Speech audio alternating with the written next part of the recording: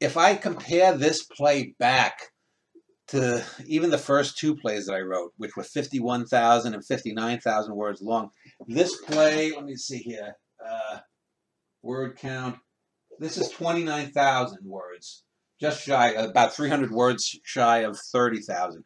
So this is about half as long as the longest play that I've written, although this musical will probably go longer because of all the song lyrics and whatnot. But in a sense, this is a much richer play, even than that play with you know my father and Aunt Darla, and that's a great play, and that's the, that's the thing that that's the thing that that really excites me about art and and uh, invigorates me is that I can do something, and even when I look, if I look back at old poems that I wrote 20 years ago versus the the poems that I wrote only uh, in the last year or two before I stopped writing poems, or if I look back at even some some moments in some of the smaller early novels I did, like Bit of Golem, and then I compare them to my uh, heroic trilogy. There's great writing there, and it's undeniable. I look at some of Jessica's early books, and there's great writing there. It's not as concentrated as, as example as some of our later stuff because we've gotten better, but you can't deny the, the greatness there. Just like I can't deny that those first two plays were great, and I would say that I start out at minimum at, at an equal level or slightly above the best plays that ever written right there.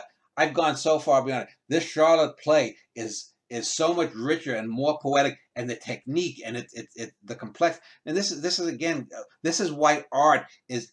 You can be great and what. Uh, try to think if you look at any other kind of discipline, philosophy. You know, how do you you you can't? There's no way to get you know you're going by 10 to the 10 powers more more richly here in just this arc of 50 plays.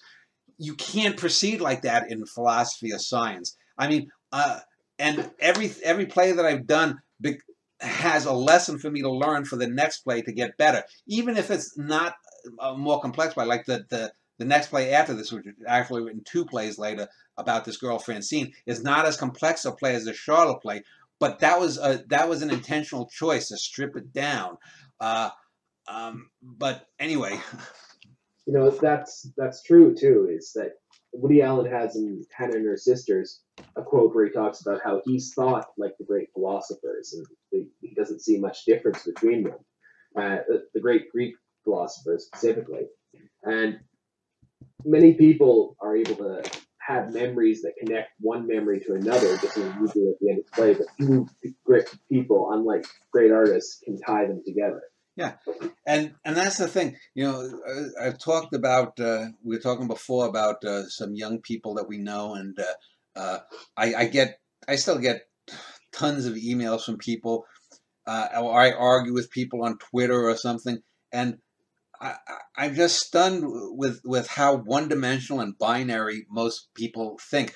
They have no ability to get beyond the thing. We, we got to do. We got to support Bernie Sanders. We got to do this. We got to get rid of Trump. We got to get. Uh, and they don't have an ability to to see a problem. I mean, I can read something. I can be presented with a situation, and not always, but maybe eighty percent of the time, it's rather easy and apparent what to do uh, in art, for example, after I go over something like I, when I was writing this musical yesterday, um, I was I was I, I, was finishing I think scene fifteen or sixteen.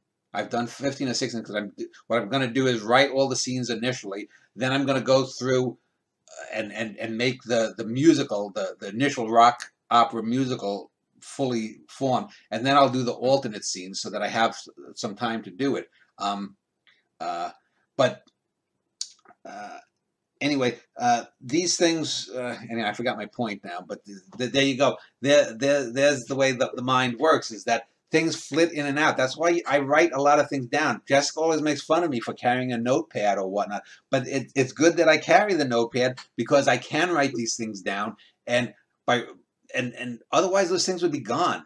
I mean, uh, yes, you know, I've got I could show you if, if I'm, I'm, I'm turning, you, you don't see it, but, but people, whoops, uh, yeah, there you can see uh, my laptop and you can see a whole host of uh, multicolored sheets and whatnot. And those are initial ideas from a year and a half or so ago for plays uh, when I was uh, working at the, the school system as a custodian. Uh, and I've got 25 ideas for plays that I haven't even touched yet because I've had all these other ideas come in between. But there's going to come a time when, you know, I'm, I'm in a rut and I'll, I'll open one and I'll say, oh, bang, that'll be the one I'm going to do next. So you always save ideas. This is why you know you never you should never throw away something if you're an artist. You never burn your old work. You should never. Uh, uh, you should always have that uh, there because uh, the mind, if, if you're really going like an engine, it feeds on itself and it just keeps turning. It's like constantly shoveling coal into into the what you call the the the the engine.